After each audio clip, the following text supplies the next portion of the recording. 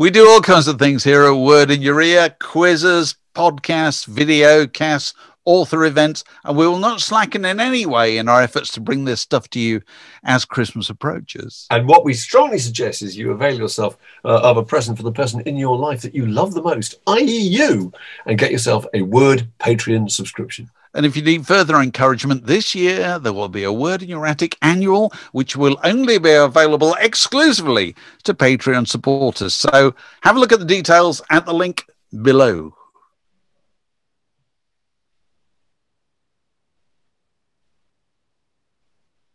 Word in Your Attic, a Zoom with a view. Hey, well, welcome to another Word in Your Attic. We're delighted to be joined by old friend of the podcast, Sir Tim Rice. Tim, how are you doing? Terrific. I'm, I'm hanging in there. Thanks. Good. And yeah, can we, can, where do we find you? Uh, you're at home at the I'm moment. at home, yeah, I'm in home uh, in a village called Hambleden near Marlow. Uh, in I, I'm not sure what county I'm in because the postal address is is Oxfordshire. The um, I'm actually technically geographically in Buckinghamshire, and the post code is Berkshire. Oh right, Uh, okay. I don't know. There are I- two Hambledons, is that right? One one of which was the one that invented cricket, but Yeah, you're well, not yeah. in that one, which No, I'm seems not. wrong. It's annoying. It's, it's very confusing because I'm, I'm better known for liking cricket than anything else, but certainly better known than that for songwriting. And and people say, "Oh, you must be thrilled being in Hambledon." I'm in the wrong Hambledon. Yes. a fake Hambledon. Yeah. Listen, Tim, let's start with this because today we're recording this on December the 8th, um, 2020, yeah, which is, of course, 40 years to the day or pretty much to the hour a very sad day. yeah. the news of John Lennon's death uh, Well, came a, through. um, I had a, I have a story about that. Um, I was uh, expecting a call from Robert Stigwood um, on the night of December the 7th from New York. Robert Stigwood, the theatrical impresario and record producer and everything, Bee Gees' manager and all that. Yeah. And um, I had two phones, um, two phone lines in those days in my house in Oxfordshire, funnily enough. And one was only an office line, and one was a home line, both landlines. And I normally turn the office line off because I didn't want to be, dis, you know, disturbed by people at three in the morning from America or Australia. But on this occasion, because it was Robert Stigwood, and he said he was going to call, I left the phone, that the office line, put it into my bedroom um, which was just a matter of turning a switch, really. Um, and I thought Robert would ring about midnight or one, but he didn't ring. Um, not surprising with Robert, who I loved. But at, at five in the morning, the phone went, oh, and and it was it was the office line. And I thought, oh God, bloody Robert Stigwood, he's rung me at five a.m. midnight in New York, and I picked up the phone, and it was Radio Oxford saying have you heard, or no, telling me that John Lennon had been murdered, and do I have any thoughts about it? And I was absolutely gobsmacked, and you know, I said, uh, "What's, you know, I'll I'll call you back," and I did. I called them back in about half an hour and said something probably reasonably um, coherent at, at, at half past five in the morning. But the irony was that Robert lived in the block of flats right next door to where Lennon was murdered, and so instead of getting my call from Central Park West, Robert's flat or apartment, I got it about a terrible tragedy one block away. It was weird. Right, right. But um, obviously, that's not important. But it was, it was, it made me think a bit. I thought that was rather strange. It is. It's one Very of those unfortunate. days that you just you just remember. I mean, Oh, I. I I was only thinking today about the flat we were living in at the time. I hadn't thought about the flat in years, and it was only the remembering we're only in that flat one year. But the one thing I remember is that's when uh, that's when we heard the news that John Lennon died. And of course, Mark and I were both on Smash Hits. Were we? We were on Smash Hits. We were. I mean, I think I think the news came through. Uh, I was living with a girl who, who was now my wife, and and and a guy, a, a writer called Tom Hibbert, and I remember him waking me up at about four, half past four in the morning, because it had just come through on the radio in England at that time to say this had happened. We just couldn't believe it, and just stayed Yeah. up, and then started ringing people actually at about six or seven o'clock. You know, and I remember seeing you, Dave. I remember coming into work, being in the Smash Hits office, and all sitting around, just being absolutely just dumbstruck, Yeah. not knowing how to react. Extraordinary. Did As was ever McCartney, that terrible thing where he Oh. was somebody sort of doorstepped him and he said something like, it's a drag or something. And everyone kind of Yeah. mis- misinterpreted that he simply Yeah. couldn't articulate what he felt, you know. Did No, you ever I- meet- I- you I ever had- him, Tim? Sorry. Did you ever meet him? Not really. I, I met him very briefly, but um, in EMI Studios when um, I went into the wrong studio when I was a management trainee at EMI and just of course. first records. Yes. I was doing a record with Norrie Paramor, my boss, and the scaffold. And I went into Studio Two because I think that was where we were told we were doing, but I didn't realize that in fact we'd moved to Studio Three and the Beatles, wow, were in Studio Two. And I wandered in and um, uh, all, all I saw was the engineer. And I said, um, uh, is this the right studio? Is is Martin here? I didn't mean George Martin, but it must have sounded as if I did. I met Martin, um, who's also working with Norrie Paramor. and a voice from the sofa hidden behind the control panel, and it said something in Spanish, really, you know, you know, total gob- gobbledygook, you know, and it was John Lennon sitting there with Yoko, and I thought, oh my god, I'm in the wrong studio, and I sort of rushed out. Um, feeling terribly embarrassed. Um, but I, that was as close as I got. I did meet the other Beatles um, over the years, um, but tragically, I never never really met John. Yeah, yeah. That What was the scaffold scaff- record had some What was very- the scaffold record you Yeah, were working what- on? I want to know. There were Well, some it- quite interesting people on backing vocals, were there? Am I Yes. imagining that? Uh, well, it- Jack Bruce and Elton John, or was it? um, no, I think that's got a bit exaggerated. All right. um, actually, Jack Bruce might have been on it because it was Lily the Pink, and Oh, um, right. and uh, it was my first number one because I was singing on it. Oh, there you Oh, go. great. And um, with with with my friend Martin, who also worked at EMI, we we we have a chorus um, backing up Graham Nash, who sang the verse about Jennifer Eccles. yes, yes. Jennifer Eccles, you know, and all that. Um, and and the boys all called her names. That was Graham. And then Martin and I went na na na na, and that was it. But we're on the record. So if Well, you, listen, you next, time you next time you hear Lily the Pink, listen out for Graham Nash's verse, and then Terrific. me and my friend Martin doing our bit. I So it was a number one record, wasn't it? Was number one. Huge Unfortunately, I was not on a royalty. No. How many number ones did the scaffold have? Was that the only Oh, that was the only one. They had they they had a few hits. They were a very talented trio. Roger McGough, a brilliant poet, John Gorman, a very funny, lugubrious comedian, um, and Mike McGear, Paul's brother, and he was a good musician. I mean, they were all very entertaining and, and very original. They had um, Lily the Pink was the biggest, and they had um, Thank You Very Much. And, Oh, God, for the Um, Aintree Iron. Yeah, that's that, right. that was a good one. And um, today's Monday. We did an album with them, which which did okay, and we did a live album which did well. Uh, that when I say we, I mean Norrie Paramor with me helping out making the coffee. Right. But um, I learnt a lot from the scaffold, and I'm still um, still sort of in touch with them. Um, every so often, I run into Roger McGough, um, and I and I spoke to Mike quite recently. I, I don't know what's happened to John. I think he went to live in France. Was John Gorman, did he end up a, a producer of Tiswas? he was on Tiswas, um, and uh, the last contact I had with him was was really strange. This is strange story time because um, I in, I used to live in Great Milton in Oxfordshire and gave away a load of paperback books to the Great Milton Fete in 1976. Um, Agatha Christie stuff and things I'd read. And um, a- about 20 years later, I received a package from France, from John Gorman, who I hadn't heard of at that point for several years, including, including a book. And it was a paperback, which clearly had belonged to me. And it said in its side, you know, Tim Rice purchased somewhere in 1976, Oxford or something. And he said, We found this book in a back room in a newsagent's shop in Thailand and wondered if it was anything to do with you. And it was my paperback, which after 20 years had got out to somehow got out to Thailand. Amazing. And somebody I knew went in and bought it. Weird. And thought you might, you might like to be reunited with it. Which Yes, is, yes, that's what he said, actually. I've kept the letter, and this time around, I haven't given away the paperback. Um, it's in one of my shelves here somewhere, and in it is John's letter. And I thought, well, in, in 100 years' time, people will find this and think, what a very interesting historical document. absolutely, absolutely. Do you are you are you a hoarder, Tim? Do you keep things? Well, I am a bit of a hoarder, but only for books and records.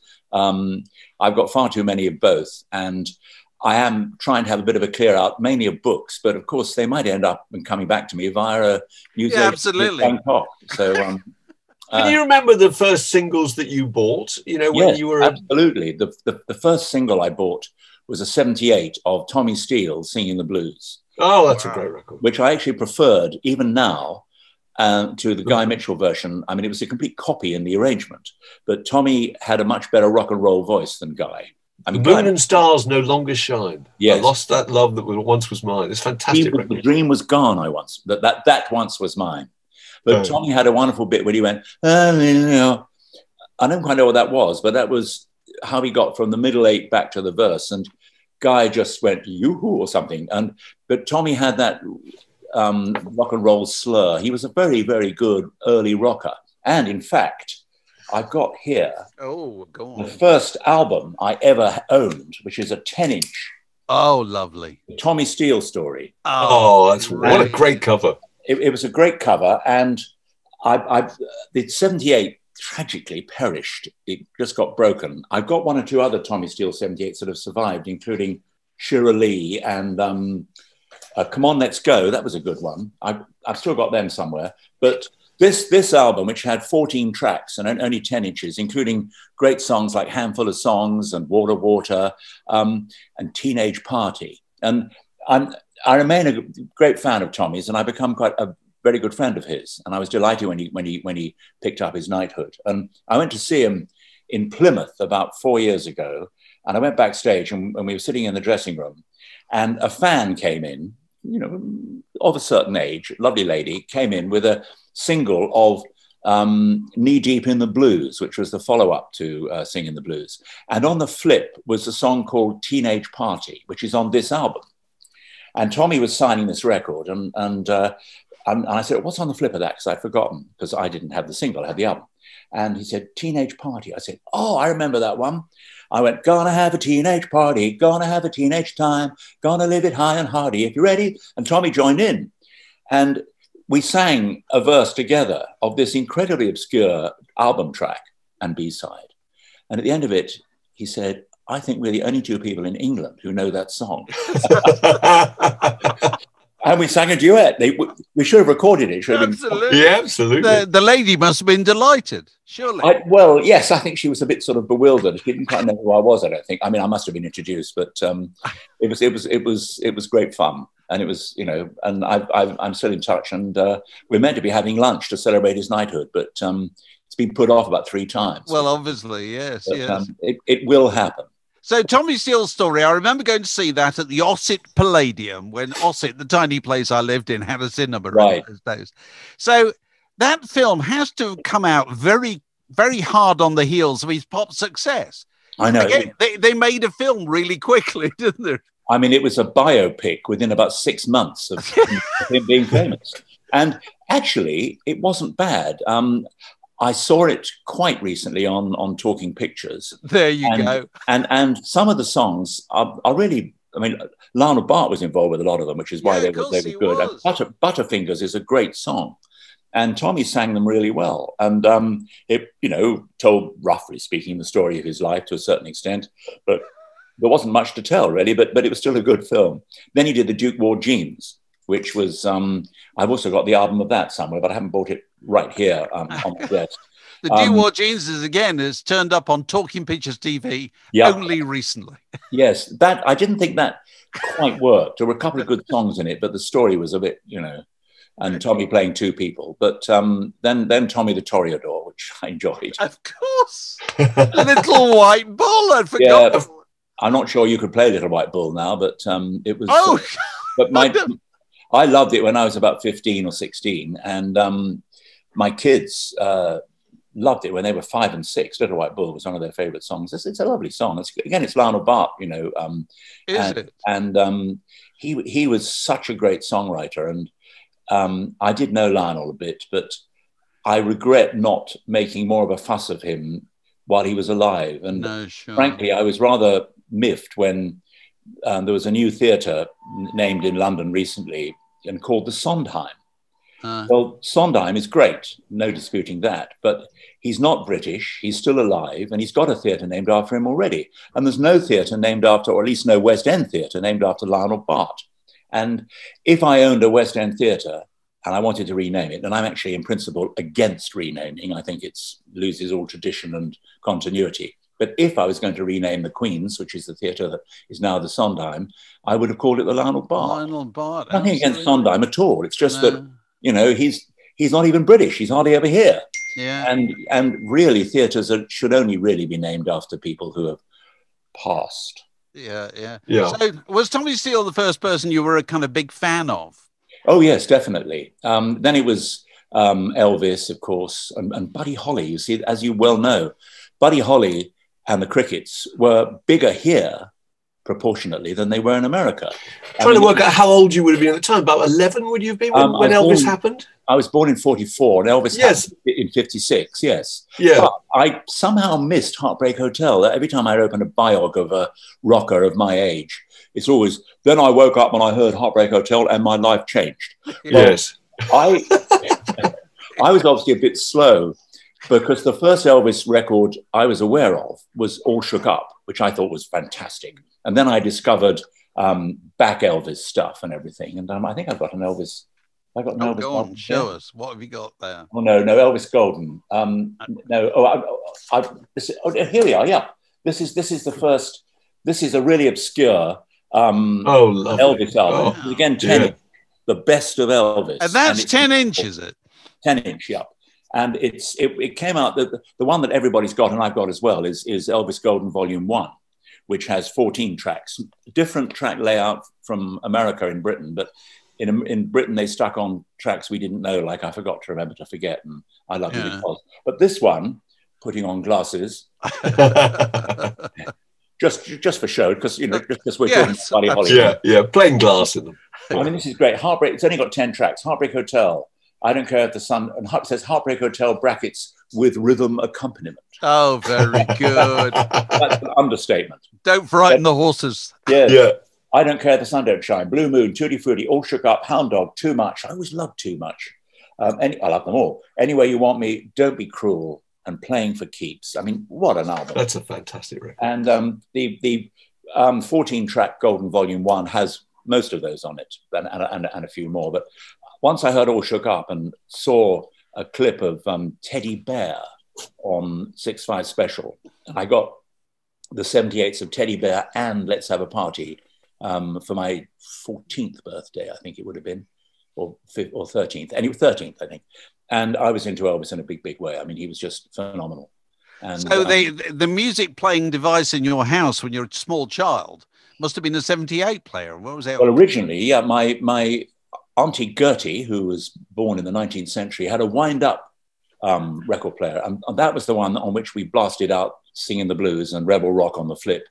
And I bought Diana by Paul Anka when, again, when I was just 13. Um, I only bought like one record every six weeks. That was all one could afford. Or birthdays and Christmas were very important. But um, the 78s, you know, one or two perished, sad to say. Um, and of course, as you know, they they they they don't play forever. Um, well, actually, that's not true because here I have Jailhouse Rock by Elvis Presley, and and I've got um, I've I've got um, 378s, which um, I still play, and I've rigged up a special 78 player um, hi-fi, as it were, a decent needle going through Oh, proper really? speakers. And and if the 78's in good nick, the sound is pretty good. Oh, Um, they wear out, don't they? You can only play them well- a certain number of times. Well, on on Auntie Gertie's gramophone, yes, you can only Because they had a great big lump of metal, that's right. but, on- but, Shellac peeling off the needle. exactly. but on the gadget I've got now, which is a very light stylus, just Yeah. heavy enough to play it, it, it sounds wonderful. And I I play. I I got some really sort of strange ones, you know. But um, I I bought about 2,000 78s in Yeah. 1950. No, what am I talking about? 1973 um, at an auction because there were 2,000 78s and about 1,500 or more were classical.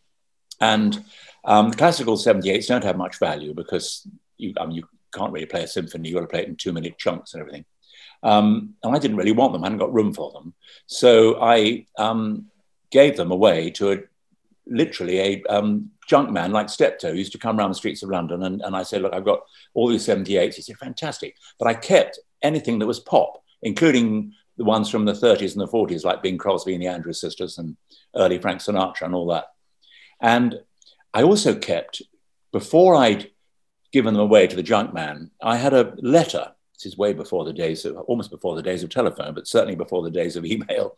I had a letter from a bloke who'd who'd heard me being interviewed on Radio 1 Newsbeat um, about my purchase. And in it, I'd said, Well, I bought all these classical records that I don't really want.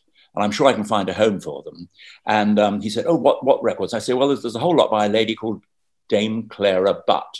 Oh. Have you, have you heard of Dame Clara well, Butt? yeah. I have, yeah. Go well, on. she's very famous, but at that point I hadn't. I was an ignorant fool. And she was a great opera diva. She was the Montserrat Caballé of her day, or the, you know, um, Kathleen Ferrier, or all that. I mean, she was a great singer. And um, this bloke wrote to me before I gave them to the junk man.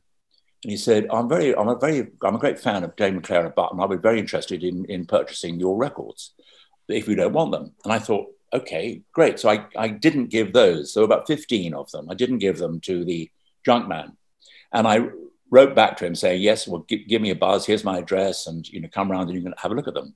And I thought I might get 30 quid for this lot. Never heard back from him. Never. Not a, not a whisper. He may be watching this, in which case you've missed your chance, mate. But, um, uh, I kept the records and a few and, and, played them, and they were interesting. There was one of her singing at the George V's coronation, which was particularly interesting. Oh, very good. Um, and then a few months later, I was I was at um, a Sotheby's auction. Sounds like I spent all my time hanging around Sotheby's, which not quite true. And there was a portrait of Dame Clara Butt came up, an oil painting, for about I think it was about two hundred quid. And I thought, well, I'm a fan of Dame Clara Butt. I've got virtually her entire 78 collection. so I bought the painting and it still hangs on my wall today. It's actually down in, in Cornwall.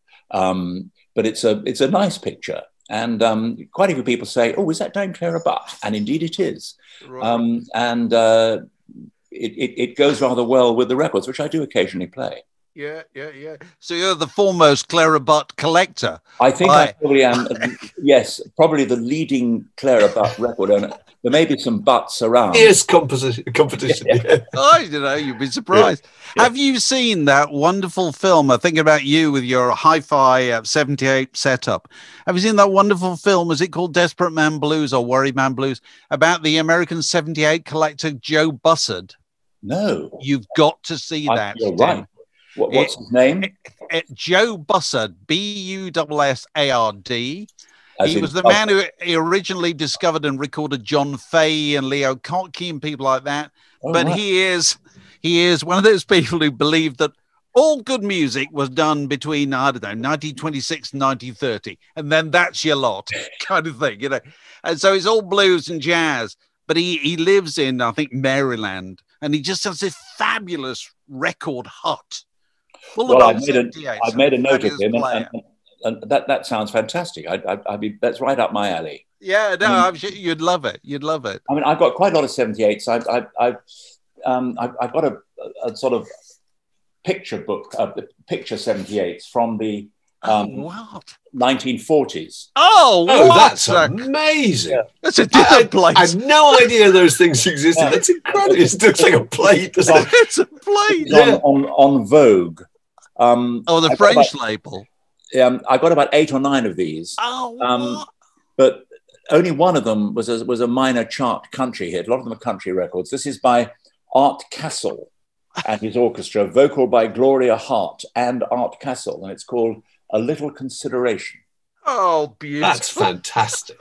And and on the flip is Sweetheart. Surely, if they're so fragile, 78s, when you played that, didn't didn't the picture just disintegrate No, no, no. It's it's they're they're, they're almost more like 45s in their feel.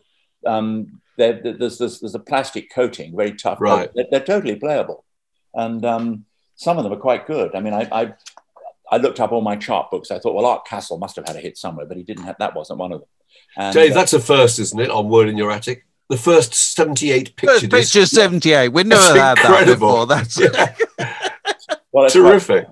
um, and it's it's it's ten inches, which I always thought was a perfect size. If you're on the expression, I mean, it, it, it's it's it's it's not it's not too. I mean, you can get a lot on it, and it's not too unwieldy. You know, compared with the wonderful 45s, which of course we love. This is another Tommy Steele. Let, let's come on, let's go, Tommy Steele. Uh, with, with the with the kind of triangle shaped Yeah, um, uh, dink Yes. in the middle, whatever we call those things. I remember a friend of mine on the school bus. We were arguing about 78s and 45s, and I was saying I think 45s are going to catch on.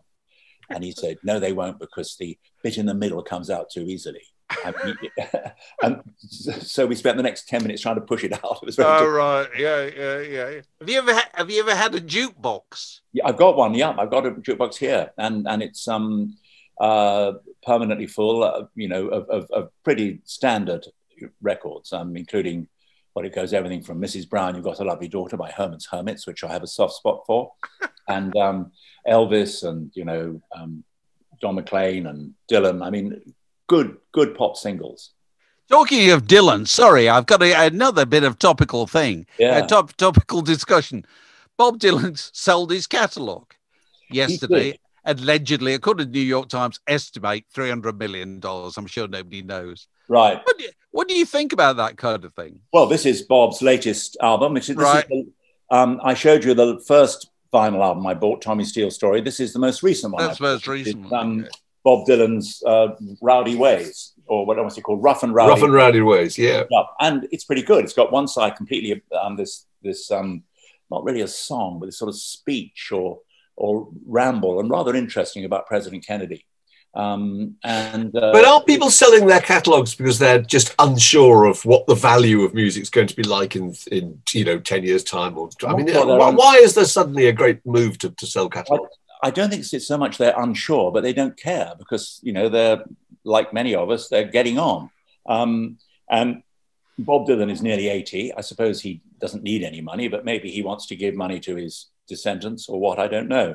But um, you can. I mean, I could probably sell my catalogue for nothing like Bob Dylan's, but good good show tunes, you know, and shows that keep going like Superstar, which is now fifty years old, and um, Evita and Lion King. These things will probably, I mean, this, I'm not trying to brag here, but I'm just stating what I think is a fact, is these things will probably still be played in 40, 50 years' time. I'm sure. maybe not quite as much, but kids will be doing Joseph, you know, I hope my grandchildren, Yeah. when they're my age, will, will their, their grandchildren might, might well be doing Joseph. So um, for a publisher, it makes sense if you take the long-term view. If you're building a, a company, I mean, if you're 80 yourself as a publisher, then you, why would you want to fork out 300 million dollars for Bob Dylan stuff? But for a company, it makes sense. And um, probably they, they, would, they would get their investment back within 10 or 12 years, um, maybe, maybe quicker in his case. But um, songwriters can do that. I mean, if, if, if, if you're getting on and you've got you know a, a reasonable catalog and you, you you know i mean obviously it's it's it's something you ought to discuss with your descendants if you have any um, but it's it, it, it makes a kind of sense really it, it's Yeah. it's a bit like selling a valuable painting or something Yeah. Your credits, I uh, yeah, because lots of your credits pres- presumably shared with somebody else. yeah absolutely well all of them virtually yes yes i've written a couple of songs on my own but nobody cared my mum quite liked one of them she, got, she got a free copy So, Can you uh, remember the name of the first song you wrote? Actually, I think it was Another Girl, Another Town. I'm trying to remember Well, now. that's brilliant. In reading your, your memoir. Yeah. Yes, well, well, that's well, well remembered. I wrote three songs almost at the same time, and I can't remember which one I actually wrote first. But um, I made a recorded, a, a reel-to-reel tape um, in my bedroom, and this I was 19, and um, I'd been in a pop group at school singing mainly Cliff Richard stuff and the Everly Brothers. Oh, the Aardvarks. Yeah, the Aardvarks. Yes, Yes. top of any alphabetical bill. Alphabetical list. and um, uh, I quite enjoyed singing, and, and, and I'd never really thought about songwriting, but um, I'd, I'd learned four chords on the guitar, and I and I um, strumming away, and I was trying to you know write an interesting tune, or at least a catchy tune. And people like Donovan were, were, were just coming onto the scene. This was early '65, and um, or late '64, early '65, and and Dylan had just. I mean, I, I was I was aware of Dylan quite early on, and um, I thought I'll have a go at writing songs, and I, but mainly to sell my voice. I wanted to be a singer, and um, I, I, I wasn't totally awful. I was quite good at the school group, and I sent this tape around with my songs on it, not to sell the songs, but to sing songs that nobody else had sung, so I couldn't be compared Yeah, yeah. unfavorably. People couldn't say, "Well, Mick Jagger did that better," or "Tom Jones did that better." Nobody did those songs better than me because nobody else had heard them. and I sent this tape round to several record companies and I heard nothing until about two months later, I got a call from a music publisher, Mills Music. And um, chap said, Oh, I mean, this has been forwarded to me by um, uh, record company. And we, you know, it's a tape, and, and, we, and we're trying to find the guy who wrote the songs. And I said, Well, actually, that was me, you know, because my name was obviously on the box. Um, and uh, said, "Oh, right. Well," um, and I said, "What do you think of the singer?" And he said, "No, no, he's terrible, but we write one of the songs." so I said, "Oh, yeah. Well, yeah, the singer wasn't very good. We got rid of it. yeah, yeah, he's, he's gone. But but yeah, I'm a songwriter, and one of the songs got recorded by a group called the Night Shift, who apparently, well, Jeff Beck was in the Night Shift for a while. Oh wow! Um, but I but and there's I there's some dispute as to whether he was actually on it or not. I did meet Jeff once, and he said he thought he might have been on it, but and it was included on a best of Jeff Beck compilation. Weirdly, um, even but but it, it, they were a sort of bluesy Yardbirds type outfit, and um, the record called "That's My Story," which was one of those three songs, came out and didn't do anything. I'm afraid it was on Piccadilly label, which was a proper label. But in those days, if you, if you had a 45 an actual 45 with your name on it, even in tiny print. That was almost like being on the bottom of the ladder because I mean you were actually on the rung, the bottom yeah, rung. Yeah, yeah, yeah. Nowadays, anybody can make a CD, anybody can make an album, and it may be good, but it may be terrible, but you can still make it. But in those days, nobody had a record pressing plant in their front room. This is know, the thing. So that's it, it, was the physical object, wasn't it? Yeah. it was what made uh-huh. people feel that they'd achieved something, you know, to yeah, show to their mother, you know. Uh, no, I mean it was really a, it was really a great calling card. I'm, I'm just joined by Lola. Hello, Lola. Oh right, who's Lola? Come see yourself on the screen. Go on. This is we'll Lola. Hello, we we just seen the top of Lola. Oh, oh yeah. Oh hello, Lola. Lola, how are you? I'm fine. You're fine. Lola's a friend of mine, and she's uh, she's three, and she speaks English and Hungarian. Oh my goodness! She's a very clever girl. That's very impressive. Good. Let me your mum because mum's wondering where you are. Okay. I have to confess, I thought at first we were going to see a pet. No. Yeah. I do have a pet. I'm amazed she hasn't pestered, but um, she's, she's, a lovely little girl. She's um, but uh, nothing to do with me. I hasten to add. Right, right. so your your your records that you keep, do, do you play records regularly? Do you make a habit? Yes, I, I, I, play a lot. I'm I'm going through all my 78s at the moment, B sides and everything. I mean, this morning I played a cover of Johnny Mathis' "Chances Are," which was a big hit in America, but didn't do much over here. And it was covered by a chap on Columbia called Ronnie Harris. And I don't know much about Ronnie Harris, but I've got his version of Chances Are, which sounds very Mathis-esque. Yeah, right, right. And um, it's a nice recording, but it's a complete copy. It's one of the many, many covers of the day. Um, but I'm, i shall probably try and look up Ronnie Harris later on today and find a bit, bit about him. Right, I suspect right. he was not Norrie Paramor, but um, uh, some other Columbia A&R man, because I think I would have known about him if he was Norrie Paramor. There's something wonderful about discovering that there are people still getting up in the morning and playing 78 first thing. That really, I really, um, made my day. it's a tragic tale. Whenever you're wandering by Hambleden, I will, I, I can play you 78s all day long. And so you still do the kind of looking up of people because I mean you you yeah. were you know one of your other claims to fame, of course, which people probably don't pay so much attention to nowadays is the Guinness Book of Singles and all that stuff. Yes, that that was something which I'd always wanted to do. In fact, that's really it was it was through that idea was how I met Andrew and got myself into the theatre business because um, I, I I was I'd had this record out, but I was I was 19 and I was keen to do something and I was obsessed with pop records and the charts and I thought there's no book which gives a history of the charts, which there wasn't. And I thought a book which just listed every top 10 would be very interesting and would sell. Um, I took it to a book publisher who agreed to meet me because he knew my mother, who was a freelance writer and written a few articles and, and, and, and stories for magazines. And um, I went to meet this guy called Desmond Elliott, and I went along armed, A, with the idea of, of this history of the charts, which, if, if, if we think about it, was only the charts only been going for 13 years at that point. And I also had my That's My Story single to impress him, you see. And he, he, he showed me, and he was very nice. And, and he said, Well, um, I don't think this idea is very good. He said, I can't sell many books of what Mick Jagger had for breakfast. So I don't see how I'm going to sell a list of his records. And I said, but that's the whole point, you know. And and he, but he but he didn't get it. And but he said, what else do you do? And I said, well, I'm, I'm a songwriter. And I gave him the record, and he played it. He had a dance set or something in his office, and he played it. And he said, well, I don't like that either. so have you got anything else? Yeah, I thought I thought this is this is a, not being this isn't my day. But then he said, however, you know, if you want to write songs, I know a young songwriter who's looking for someone to write with, um, and he's better at music than lyrics. And um, I think, if anything, your lyrics were slightly better than your tune. Um, so, and his name's Andrew Lloyd Webber. And I thought, well, okay, he'll have to change his name if he wants to make it, but never mind, I'll go and meet this guy. and um, so I wrote Andrew a letter and gave him my office phone number because I was a law student. And um, Andrew rang up and I went round to meet him and that was it. And, and, he, and I met him and he said, oh, great to see you. And I write musicals. Are, are you keen on musicals? And I said, yes, thinking, hope he doesn't ask me to name more than three. Um, and he then sat down at his piano and said, I've written eight musicals, which he had, and he'd written them all at school. And he began playing these tunes, and I thought, these are really good. Um, and um, I knew a bit, actually. I was slightly exaggerating there. I, I, knew the scores of quite a few musicals, like My Fair Lady. My parents had the albums. And I'd never seen many of these shows, and I, I, I wasn't a theatre goer.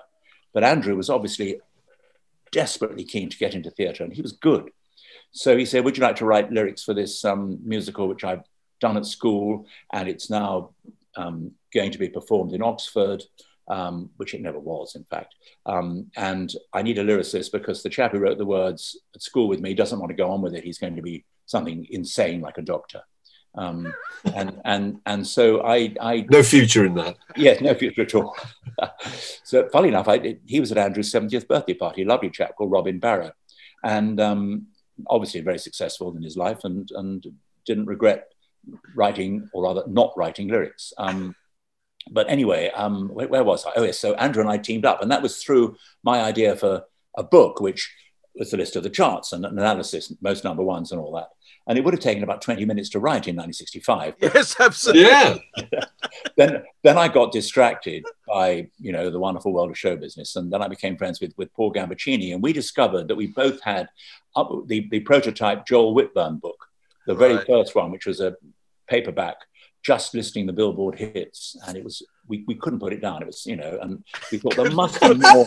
There must be more. Don't tell me what happened. yes, and, and my brother Joe was also equally obsessed, and we said, well, three of us got together, um, and Mike Read came on board as well. Yes.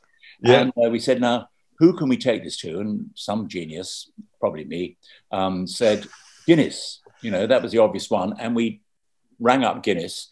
Um, and because I had a I, I, was vaguely known there, and I thought they might take my call.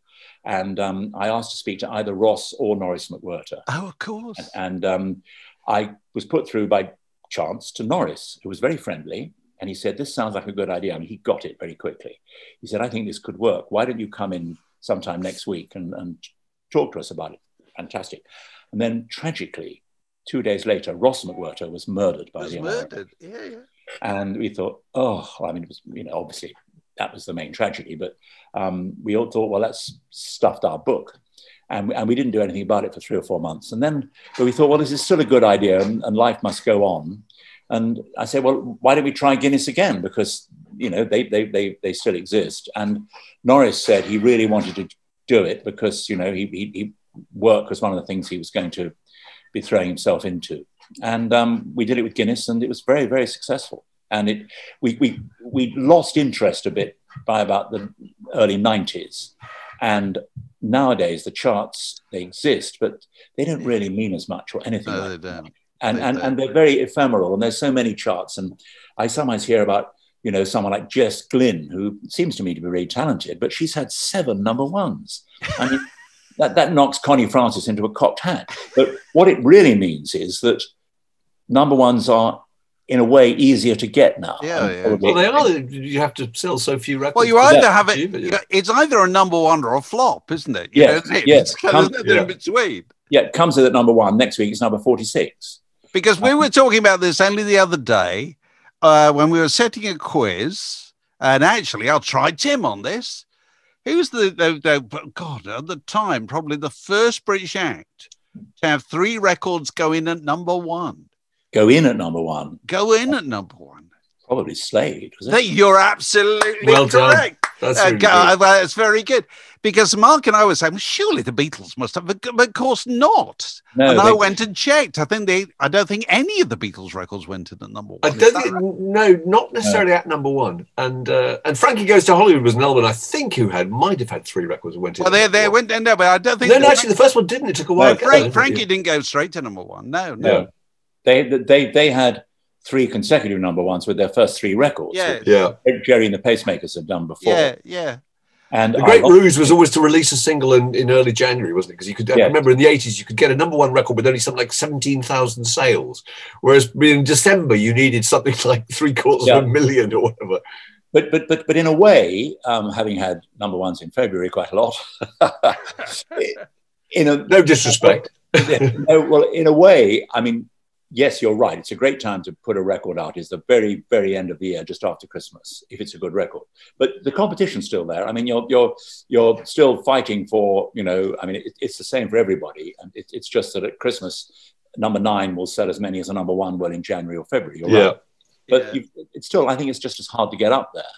But Yeah. um, except I said, I don't know, maybe you're right because a lot of people don't think about, you know, they put their records and books all come out in October. I think barking mad. If I ever get around to doing volume two of my memoirs, I'm going to Yeah, surely. Come on. We. Gonna come- I was going to ask. Well, we you love the it. first. Yeah. Have It's you, have you started? January or February. Yes, I have started it because I've been doing this podcast, which um, in fact is building up into quite a few thousand words. Oh, this is Get Onto My Cloud, Get isn't it? onto my cloud. I'm waiting That's for right. Mick and Keith to sue me for using their tune at the beginning, an instrumental version. It's not their version. It's um, my producer Pete Hobbs, who's a very talented musician, has done a, a facsimile of the backing track of "Get Off, Get Off of My Cloud," and I called it "Get Onto My Cloud." And I'm rather hoping Mick and Keith will sue me because that'll be good publicity for the podcast. So I was listening to one the other day, and you were talking about how the Queen's Gambit could possibly help the sales of your, Yes. your record Chess, because chess chess set sales have now uh, tenfold, aren't they? No, it, it's extraordinary. We, we, I mean, it's a jolly good series. I thought. I, I Yeah.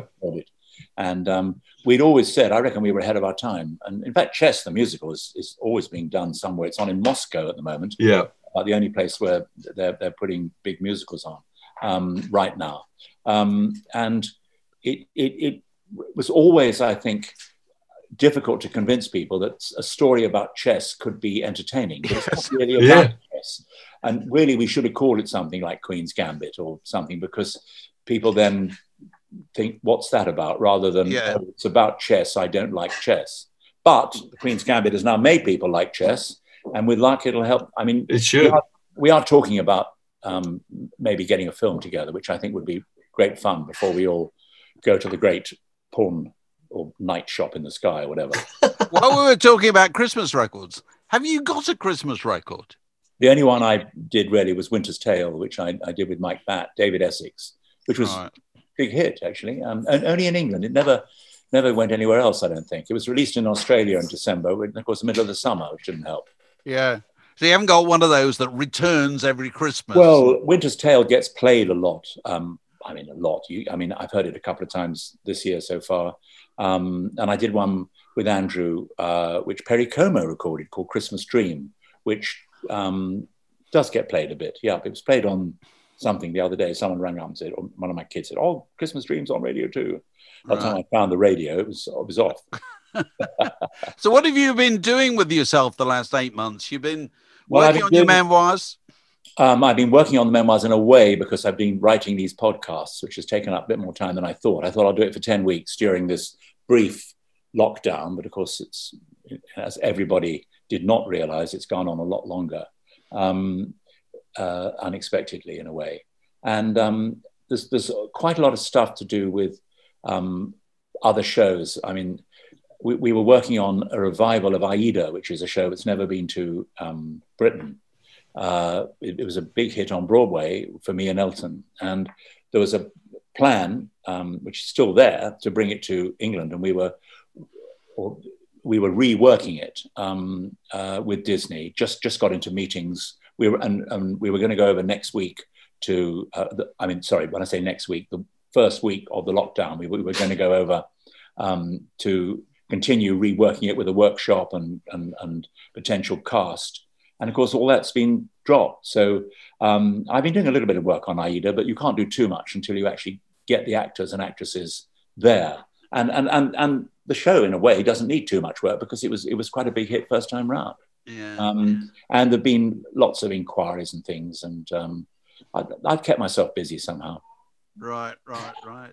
So it, it's traditional on these on these uh, these uh, vodcasts, podcasts, whatever we, we uh, call them, that we ask people to tell us what is the greatest record ever made. And uh, Tim, I, I guess in your case, you've got loads of candidates that you could be choosing from. Well, um, yes, you're absolutely right. Um, in a way, my my favorite pop record of all time, my 45 from the old days, I always quote as my favorite because it was just an instant. The first time you heard it, you thought, number one. And that was Runaway by Del Shannon. I thought that was just. Oh, right. Yes. And um, I actually did a cover version of it under the name Huddersfield's Transit Authority, um, which uh, nearly made it. It sold about five or six thousand, and Tony Blackburn played it, but it never quite got into the charts. Um, Sorry, Huddersfield's Transit Authority. Yes, it was the time of Chicago. isn't early 1970s. Is it? Yeah, Kind of- yes. And um, the plan was to do what Chicago did was then to change our name to Huddersfield TA and then just to Huddersfield. But because we never had a hit, we that plan went out the window. Why Huddersfield? I don't know. It just seemed a wonderfully inappropriate name. Um, It does. It seems clunky in English, doesn't it? Parochial. Well, I had I've only been to Huddersfield once, and that was some years afterwards. And um, funny enough, there was a program live from Huddersfield last night. Tim Brooke Taylor's last um, "I'm Sorry, I Haven't a Clue" came from Huddersfield. Um, and so Del Shannon would be a candidate. And, and for early singles, um, pre Beatles era, I, I, I would say Summertime Blues by Eddie Cochran is hard to beat. Mm. Lyrically, brilliantly um, up there. I mean, the lyrics of that song would, would grace a top Broadway show. Um, And great rhyming, very witty, an entire teenage rebellion in one minute, 58 seconds. Now, who wrote the lyrics of that? Did Well, he or Sharon? No, no. Sharon Sheeley wrote um, uh, Poor Little Fool for Ricky Nelson. Oh, okay. I And- thought. and- go on. And I think she wrote one or two of Cochran's. I mean, she was engaged to Eddie Cochran, but it was written by Cochran and Capehart. and, Right. I'm not, okay. and I'm not sure um, which who wrote the lyrics, but I think Eddie Cochran had a big hand in them. Twenty Flight Rock is a good lyric as well. I mean, the idea of a bloke uh, Running up the stairs. Yeah. comes in, yep, you, your girlfriend lives on the 20th floor, and you know when you get up there, you're going to have a good time, but the lift's broken. so the guy runs up the stairs, I want flight two, flight three, flight four. And by the time he, and he gets to the top, I'm too tired to I'm too rock. tired to rock. And you That's right. Yeah. Feel rock is a bit of a bit of a euphemism. Wonderful lyric. And I mean, Eddie, Eddie Cochran, I thought was, a, and again, he was much bigger here than he was in America. really? America, I was sitting next to somebody um, in America a few years ago, and she she she came from Oklahoma, which is where um, Eddie Cochran spent a lot of his um, early days. And I said, "Oh." And, and I think there's a statue of Eddie in Oklahoma. I think I, I'm not absolutely sure. And I said, "Oh, the great state that gave us Eddie Cochran." She said, "Who?" And I thought, Oh, good. you know, he just wasn't wasn't known there. But Yeah. I mean, the Rockers know him. He was brilliant. Yeah. Come on, everybody! Summertime Blues. Tw- 25 Rock, was that the one that George Harrison played as the audition piece Uh, the I think Beatles? Paul McCartney allegedly played um, 20 Flight Rock, and John Lennon. McCartney, I think, played it to Lennon, didn't he? Yeah, it was very After the impressive. fate. Paul, Yeah. Paul knew all the words, Yeah. um, which are you know quite easy. If it, it's one flight, two flight, three flight, four. Yeah. Right, But- right. But it's um it's a it's a it's a funny song. I mean, just why Chuck Berry was so good because every every lyric it was a wonderful story. You know, whether it was no particular place to go or Maybelline or you know Johnny B. Goode, there was a great story. And and I mean, there's the wonderful line in in Johnny B. Goode. You know, um, about the gunny sack, and I thought you know guitar and a gunny sack, and I thought, what's a gunny sack? And it, it is a sort of It, it, it exists. and and um, I did a musical recently, which I've also been working on in my lockdown, uh, called From Here to Eternity, with a very talented young composer called Stuart Brayson. And it ran in the West End for six months, and it it got quite good reviews, but it didn't didn't quite make it. But we're gonna we've had an offer to bring it back on tour. And there's a song in that called "Ain't Where I Wanna Be Blues," which is really a tribute to Chuck Berry, and it has a line um, mentioning a gunny sack. Um, I can't remember the lineup, so I've, I've got my troubles up wrapped up in my gunny sack or something. But I thought I wanted for 50 years to get that word into a song, and at last I have because Yeah. the GIs in, in, in Hawaii in the 1940s tended to have gunny sacks lying around. Yeah, yeah, yeah. And I always think the tidiest ending to a song I know, although you probably know loads better, Tim, is the last verse of Chuck Berry's The Promised Land, where he arrives in Los Angeles. Oh, yes. And it's Yeah. all he re, he repeats, he's calling Norfolk, Virginia, Tidewater, and then he reels off the number. Yes. Tell the folks back home this is the promised land calling and the poor boys on the line. It's just that Yeah. He's gone all the way across the country. He's Yeah. named all those places. He's named the method of transport between each of those places. He's specified car, bus, plane, whatever. And then when he arrives in Los Angeles, he phones back to say he's got there. Brilliant. How cool is that? It's brilliant. I mean, that, that that's an. in- I mean, it's a great lyric anyway. But the fact that he, he doesn't phone on the way, um, you know, reminds us that the and, and again, by the time I get to Phoenix, a great great song by Jimmy Webb. Um, you know, he can't call on his mobile because he doesn't have one, and uh, the song was written in 1967, I think, and. Um, it, it's it, you think well it's a great great song and it, you couldn't write it today i mean the song lives on because it's so good but in, nine- in today you couldn't write a song you know No, no, no, no. where No, to- why aren't you ringing now? Yeah, Precisely. exactly. Yeah, yeah, yeah. That's, it's interesting. So many American songs are written about distance, aren't they? yes They're written about going from one place to the other. yeah And Yeah. Which seemed so magical if you were British. And the idea that you Yeah. had this tiny little uh, island that you were living on, that, that this was 3,000 miles of. Uh, i know even even you know writing a song about driving down to cornwall doesn't really it doesn't. So, what are you doing for Christmas? Are you at home?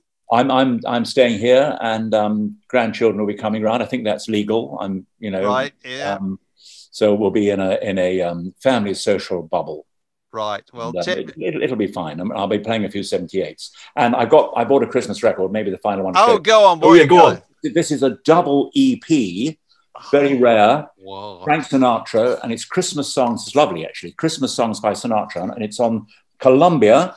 American, this is an American record. Right. It says underneath here, unbreakable record. Fantastic. proved them wrong. yeah, yes, yes. The world after 78. Yeah. but, but it's it's got eight tracks, so, so it's um it's like an album really. I mean, and, and, and it's it's got um mainly carols, Silent Night, and and um you know one- a little town of Bethlehem and things like that. Here comes Santa Claus. One, you know, it's, it's this this is good, and and of course maybe my favorite Christmas album, Phil Spector's is is is good, but it's a bit all the same if you hear the whole thing. Frosty the Snowman's brilliant, of course, um, but Elvis's Christmas album is hard to beat. I mean, such great songs, and um, you know, Blue Christmas and Santa Bring My Baby Back to Me. It's a wonderful album. Well, we'll all be getting it out on your recommendation. We'll be s- streaming it, which won't be No. the same at No, all. it won't. Tim, it's been lovely to talk to you. Lovely to talk to you. It's well, brilliant. thank you very much, guys. Thank I'm, you. I'm honoured to be included in your whatever it is. Yes, absolutely. and have a good Christmas. Same to you, and I hope, hope, hope to see you both Terrific. in, uh, in the flesh. I hope so. absolutely. That would Yeah. be great. Word in Your Attic, a Zoom with a View.